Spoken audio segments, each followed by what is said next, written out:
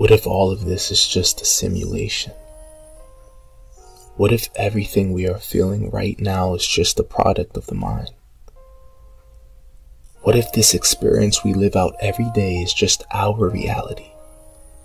What if all your emotions, beliefs, and feelings were only personal to your own perceived reality? What if I told you this isn't far from the truth?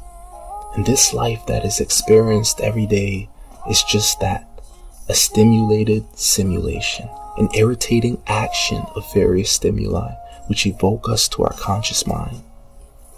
Isn't that something?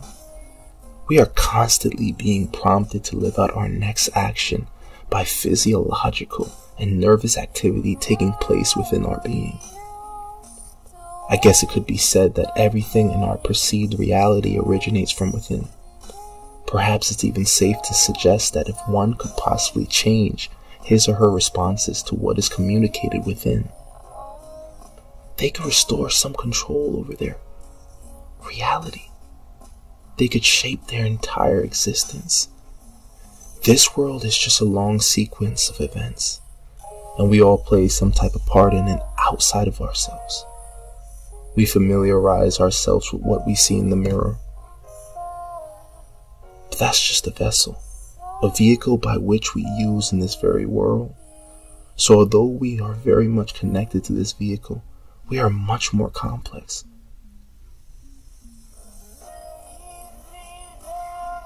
We are more than just flesh and blood, but a soul, a spiritual being who has been chosen to experience all the different emotions and beliefs and feelings within this stimulated reality.